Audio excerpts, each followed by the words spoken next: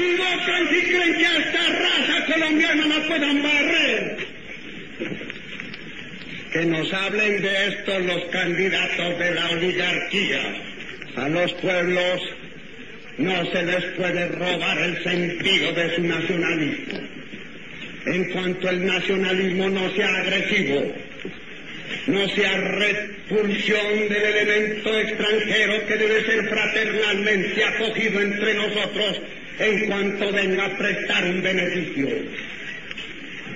En cuanto no sea agresión al extranjero, que afortunadamente nosotros no podemos realizar, pero en cuanto sea estímulo de nuestra propia razón de ser orgullo de nuestra propia raza, veneración a nuestras tumbas, porque eso no es el lenguaje ni demagógico ni retórico, que los hombres que hemos cruzado universidades sabemos que el hombre es como las plantas, que la planta da fruta y flores no por la planta misma, sino por el surco y la tierra donde ha aprendido, y que el hombre y un pueblo no pueden ser grandes y fuertes, en razón de las tumbas donde tiene el alimento para su futuro.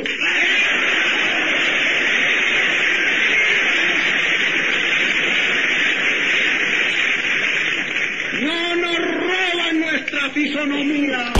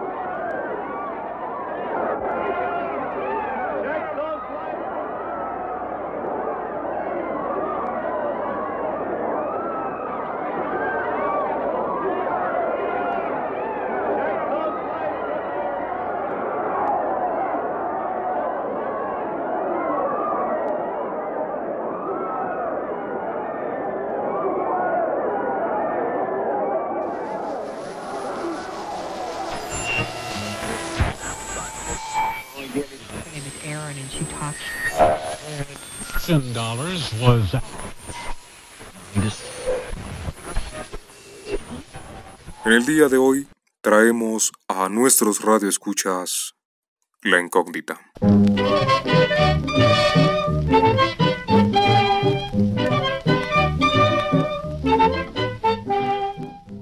Esta historia se desarrolla en la Bogotá de finales de los años 40, una época donde el país estaba dividido en dos, liberales y conservadores.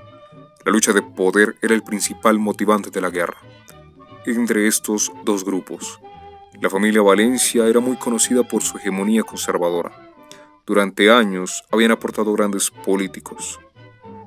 Carlos era hijo de don Álvaro Valencia y de doña Estela de Valencia, un joven inteligente que empezaba su carrera política. Lo que muchos no sabían es que Carlos guardaba un gran secreto que ya no podía mantener oculto.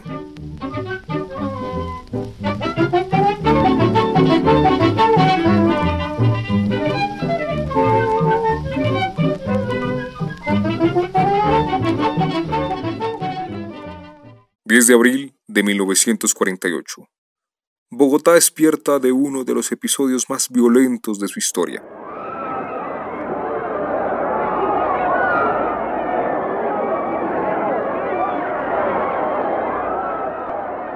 Caos, anarquía y destrucción, con charcos de sangre y ventiscas cargadas de polvo en pleno centro histórico tras la muerte del caudillo liberal Jorge Eliezer Gaitán. Mientras un joven de familia conservadora extremista observa por su ventana lo que ha quedado de aquel fatídico 9 de abril.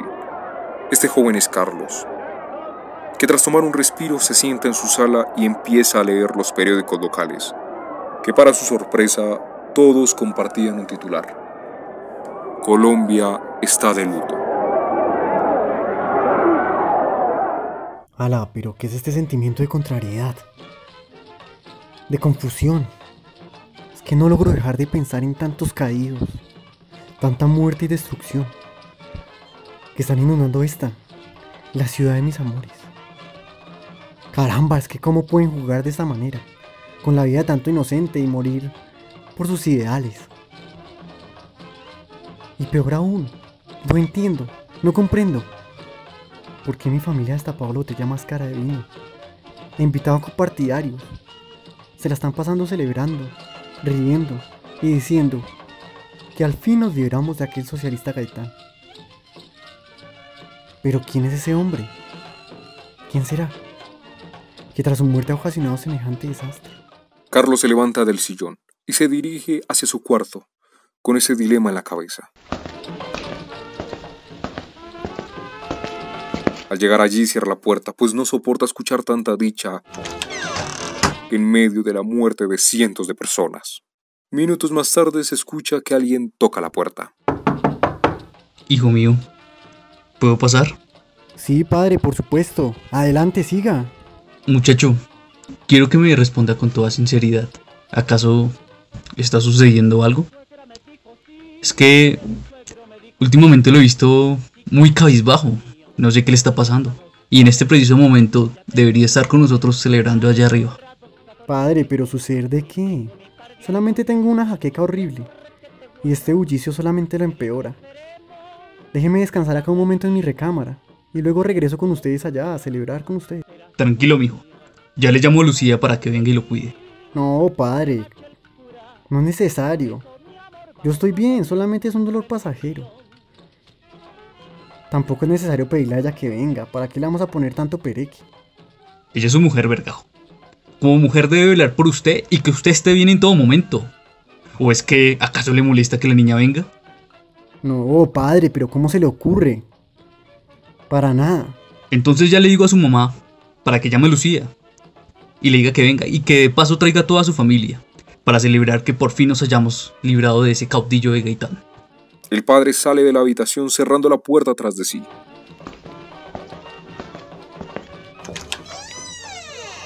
Y haciendo sonar un estruendo por toda la casa. ¡Estela! ¡Venga que la necesito! Carachas, Álvaro, ¿qué pasó? ¿Por qué tanto alboroto, por Dios? Estela, necesito que llames de inmediato a Lucía. ¿Y eso para qué, mijo? Para que venga y se esté con el muchacho, que la verdad es que no sé qué le está pasando. Dice que se siente maluco. Que le duele mucho la cabeza, me dijo hasta. Con razón, Ala. A mí sí se me hacía raro que el muchacho se haya desaparecido así, de la nada. La gente ya me está preguntando que qué fue lo que le pasó. Bueno, voy de inmediato a llamar a Lucía. Por cierto, dile que toda la familia está invitadísima a la cena de esta noche para celebrar este gran triunfo. Estela toma el teléfono. Marca el número de su nuera.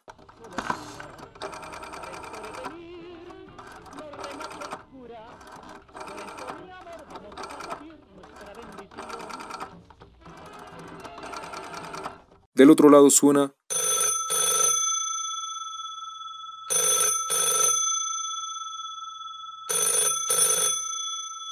Cuando alguien contesta. A ver, familia Márquez. ¿Hablo con Lucía? Sí, con ella habla. Hola, mi hijitica, ¿cómo está? Habla con Estela. Lo que pasa es que la necesito urgente, caray. Sí, doña Estela, cuénteme qué sucede. Mi chinita, imagínese que Carlos está como achilado, Ala. No sé qué le pasa. Virgen Santísima, pobrecito. Ay, ya voy por allá. Gracias, mamita. Por cierto, mija, Álvaro le manda a decir que no se le olvide decirle a sus papás que vengan esta noche a festejar la muerte de Gaitán. Poco tiempo después de la llamada, Lucía llega a la casa de la familia Valencia, acompañada por sus padres con los que se disponen a compartir lo que queda de la celebración. Tras el saludo, Estela le pide a Lucía que salga al patio de la casa y que espere mientras llama a Carlos. Mijo, Lucía lo está esperando afuera en el patio, vaya a verla. Madre, pero ¿cómo así? Carlos, mire a ver, Chinito, yo no crié ningún maleducado, la chinita lo está esperando afuera. Ala, pero ustedes siempre se ponen a hacer cosas innecesarias. Muévase a ver, chivato. Está bien, está bien, sí señora. Ya salgo, excúseme, por favor. Carlos se levanta, se arregla, se dirige hacia el patio donde ve a Lucía sentada sobre un banco con la mirada perdida.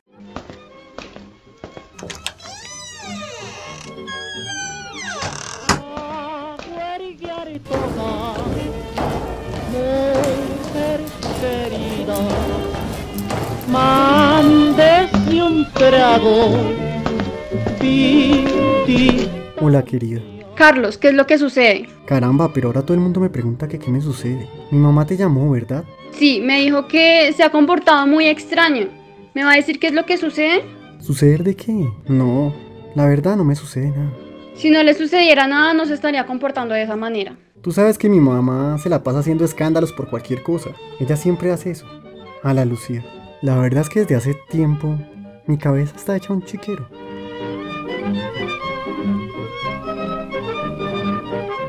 ¿Qué le dirá Carlos a Lucía en el próximo capítulo? No se lo pierda.